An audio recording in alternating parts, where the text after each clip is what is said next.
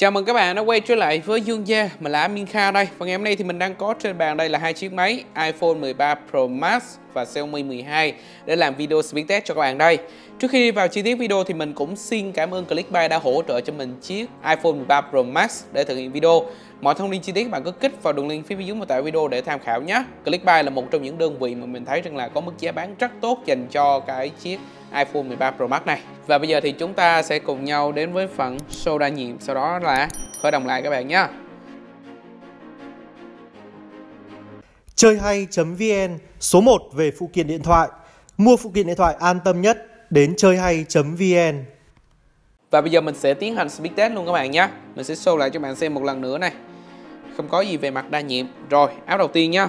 Cộng một điểm cho iPhone 13 Pro Max. 1, 2, 3 với iPhone 13 Pro Max à, AutoTune nó không loát. Điểm số ở đây sau khi test lại cái chiếc Xiaomi 12 các bạn biết là bao nhiêu không ạ? À? Trời ơi, nó lên tới là 433.000 điểm. Gần 1 triệu điểm rồi. Không hiểu tại sao lần trước test nó lại điểm thấp như thế Nhưng mà lần này thì Wow, các bạn thấy được cái khoảng trên chưa? 150.000 điểm như thế. Quá khủng khiếp. Đó là về mặt điểm số. Tiếp đến với phần uh, game Alpha 8 nào? 1, 2, 3 Điểm số thôi mà. Chắc gì đã ăn iPhone 13 Pro Max? Chắc đây các bạn à. Wow ok. Từ game tiếp theo. Real Racing 3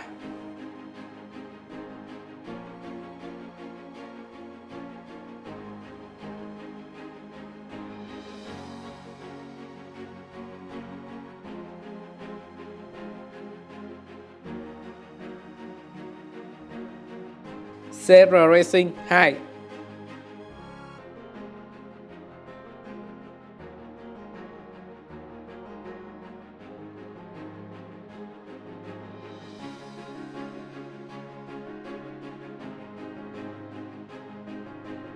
Đối với tựa game này thì um, iPhone 13 Pro Max đã vào trước rồi. Real Steel 1 2 3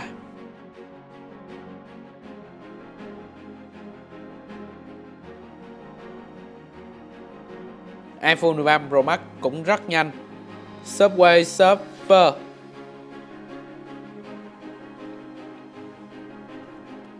rất nhanh đến từ iPhone 13 Pro Max. Angry Bird 2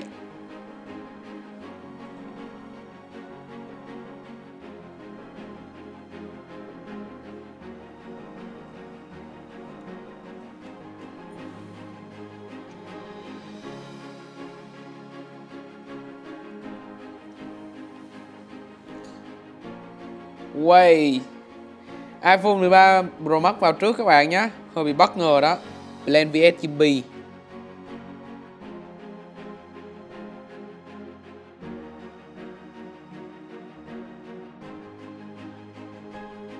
Từ game này thì 13 Pro Max loát cũng rất là nhanh.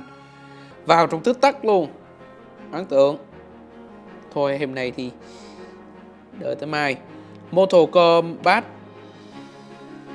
phản hồi chậm hơn chứ không phải là bấm chậm hơn đâu các bạn nhé MIUI 13 năm nay mình thấy rằng là thật sự mình không đánh giá cao một tí nào cả các bạn nha Thứ nhất là về cái sự thay đổi giao diện không có, không update, không cập nhật gì sau rất nhiều phiên bản MIUI rồi. Đó, tiếp đến là về cái phần tốc độ tối ưu cái thứ này kia thì cảm thấy nó cũng không ngon lành lắm. Vẫn iPhone 13 Pro Max Interested 2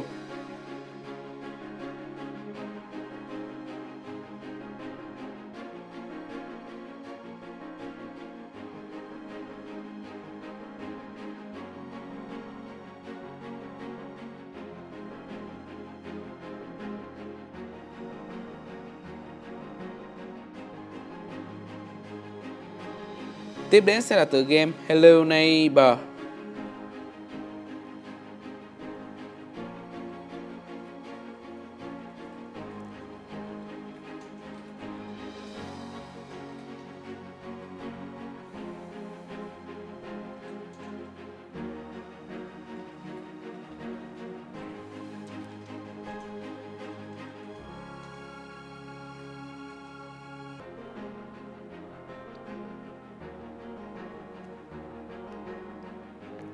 vẫn là iPhone 13 Pro Max. Tựa game cuối cùng này, Gangsta 4, 1, 2, 3.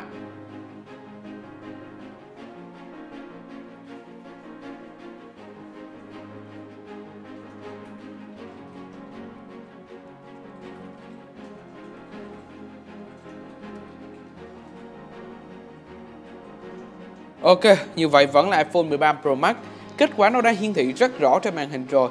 Và dường như thì iPhone 13 Pro Max nó vượt trội hơn về cái khoảng là tốc độ load app.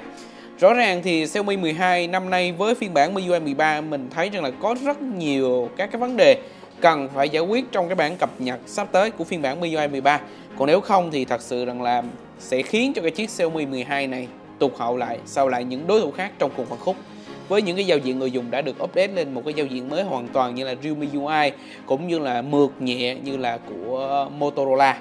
Rồi, ok, còn bây giờ thì xin chào và hẹn gặp lại.